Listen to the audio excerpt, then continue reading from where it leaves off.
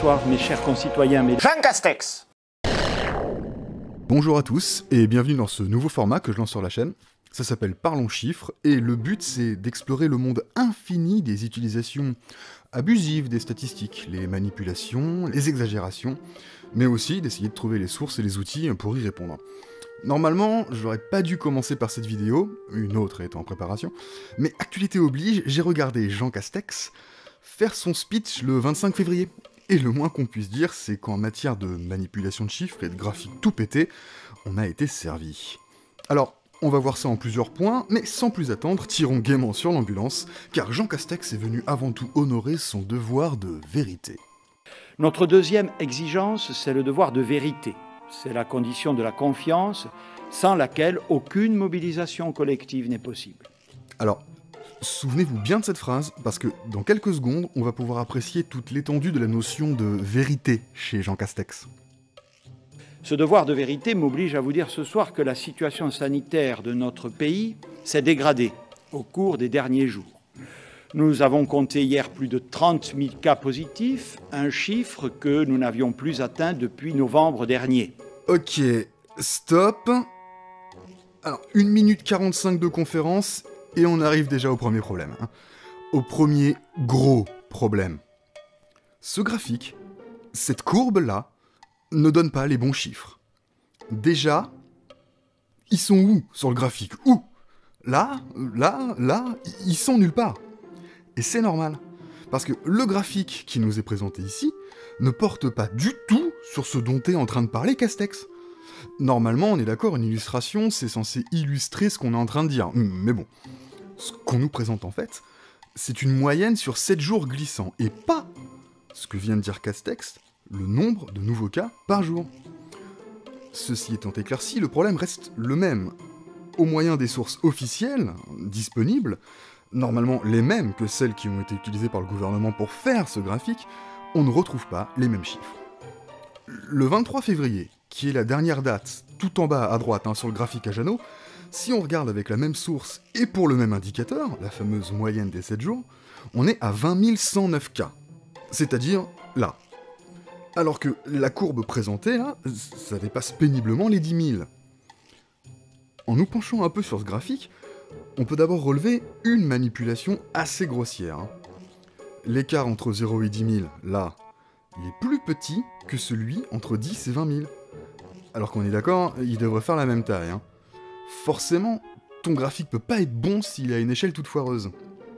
C'est une interprétation assez hasardeuse du fameux hashtag flatten the curve. Ah, effectivement, tu vas l'aplatir ta courbe, y a pas de souci. En fouillant un peu, on peut retrouver les chiffres officiels sur plusieurs sites. Moi, j'ai choisi celui de Météo Covid pour le coup. Vous trouverez tous les liens en description. Et on peut tenter de corriger le graphique à Jeannot. Ce que vous voyez à l'écran, en bleu et en violet, c'est la courbe telle qu'on la trouve sur Météo Covid.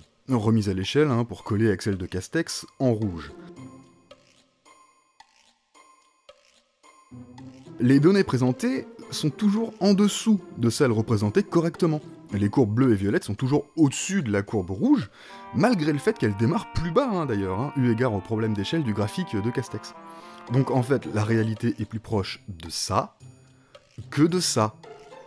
Mec, ton devoir de vérité, il a pas tenu une minute. C'est ça la pédagogie du gouvernement, euh, l'exigence de transparence, ou tout simplement, je sais pas, le respect que tu as pour les gens qui t'écoutent? Allez, avançons un peu. Le virus gagne de nouveau du terrain depuis une semaine. Le virus progresse en France comme presque partout en Europe. Je pense à l'Allemagne, à la Belgique, aux Pays-Bas ou à l'Italie, même dans les pays qui ont confiné. En fait, parmi tous les pays utilisés comme exemple ici, les seuls qui ont vraiment confiné récemment, c'est l'Allemagne et les Pays-Bas. Euh, L'Italie, la Belgique et la France ne l'ont pas fait. Sous-entendre, comme le fait Castex, que le confinement n'empêche pas la diffusion du Covid, c'est faux. Puisque parmi les 4 pays qui voient leur taux augmenter sur le graphique, 3 n'ont en fait pas eu recours au confinement récemment. Seule l'Allemagne a un taux qui est stable, et il se trouve qu'en Allemagne, il y a eu confinement. Il y a des journalistes de BFM qui ont regardé les données disponibles via Our World Data. C'est des sources que j'utilise aussi dans cette vidéo. Et on voit que les confinements ont bel et bien un effet. Mais le taux peut aussi baisser parfois dans des pays qui n'ont pas confiné. En fait, on ne peut juste pas être aussi catégorique que Castex sur ce point. Je vous mets le lien vers l'article dans la description, même si c'est BFM, c'est intéressant, je vous promets. Ah, et puis dernier truc. La date des sources. Mec, 4 février Alors que tu montes des chiffres qui vont jusqu'à 24 février? Bon, c'est sûrement juste une faute de frappe ça. Mais ça montre bien à quel point les gars qui ont fait les graphiques les ont fait par-dessus la jambe. Oh la vache, j'avais pas vu. Mais sur ce graphe là, on passe du 14 février 2021 au 16 février 2020, et puis on revient en 2021, au calme. Avançons un peu dans la conférence. Vous ne croyez pas quand je dis qu'ils ont fait ça par-dessus la jambe? Regardez là.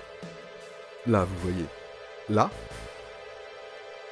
Pas foutu de savoir dessiner correctement le drapeau de son propre pays Non, non, mais les gars, ils en juste plus rien à foutre là. Ça paraît anecdotique comme ça, mais je trouve ça assez révélateur des, conditions de production des supports de présentation de Castex.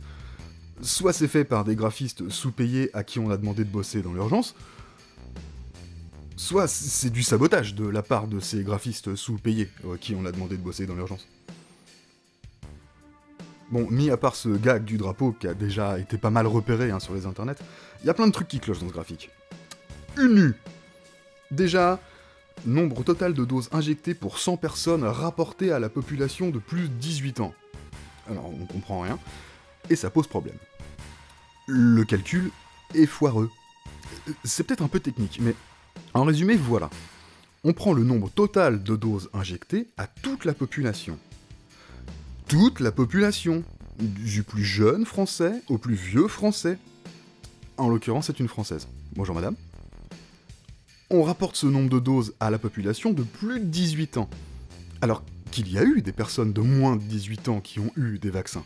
Pas beaucoup, d'accord, mais il y en a eu. Je vous invite à aller dans les sources pour vérifier. Faire ça, ça fera forcément légèrement augmenter le taux présenté.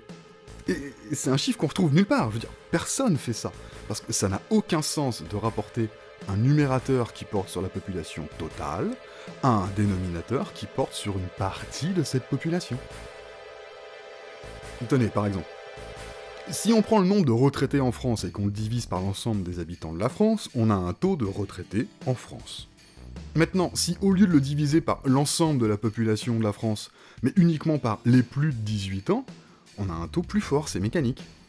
A l'inverse, si vous prenez le nombre d'utilisateurs de TikTok et que vous le divisez par le nombre de personnes de plus de 18 ans, vous aurez un taux plus faible que si vous le divisez par la totalité de la population, ce qui serait le truc juste à faire, puisque les utilisateurs de TikTok sont souvent mineurs.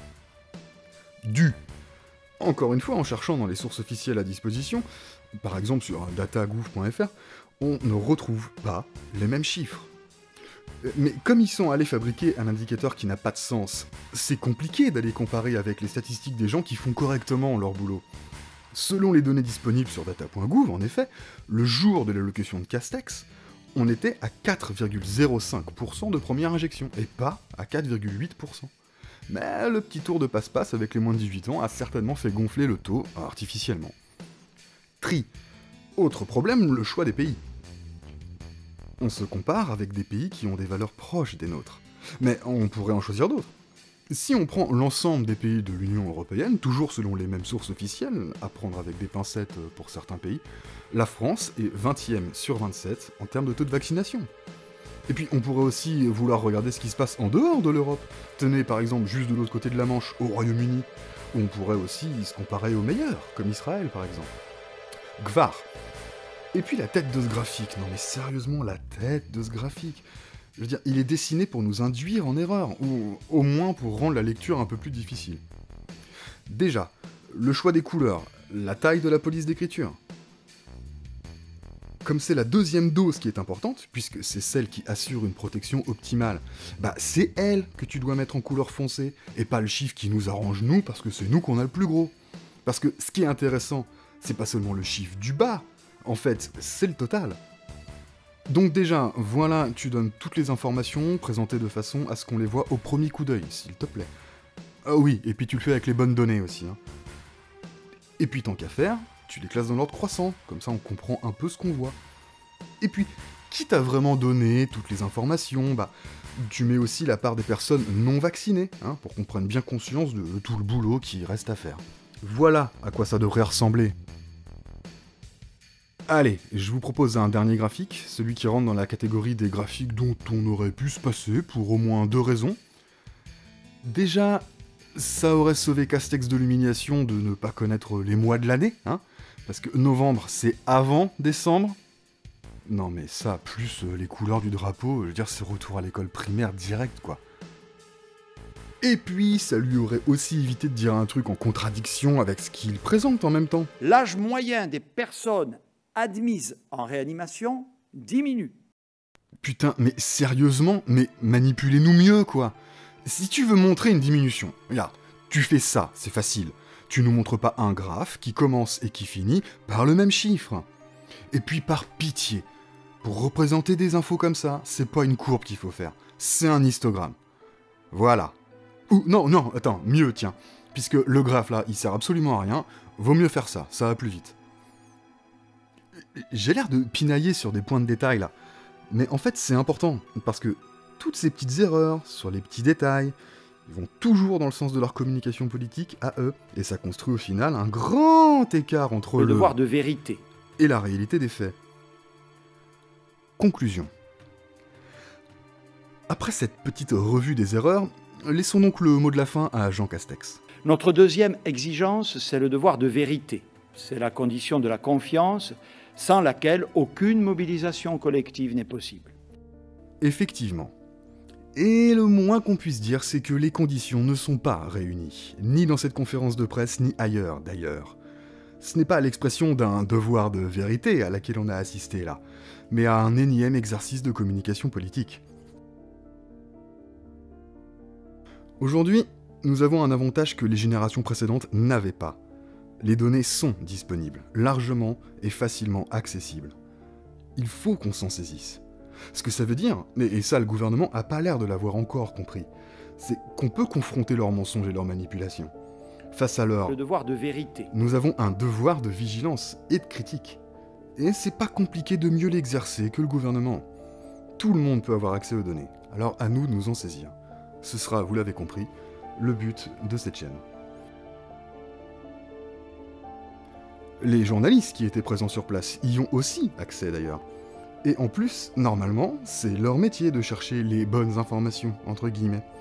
J'aurais aimé un peu plus de devoir de vérité de leur part. Par exemple, au moins une question sur le premier graphique, qui est le plus visiblement problématique. Au lieu de ça, on avait droit à des questions qui les intéressaient eux, sur le probable confinement de la région parisienne ou sur le prochain match du 15 de France. Si la confiance doit s'appuyer sur la transparence et la vérité, le gouvernement doit être exemplaire quand il prétend s'appuyer sur des chiffres pour justifier des décisions qui ont des conséquences lourdes sur nos vies quotidiennes. En tout cas pour cette fois, la vérité, la confiance, c'est raté.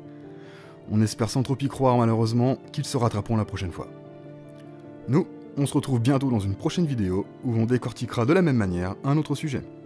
À la prochaine fois.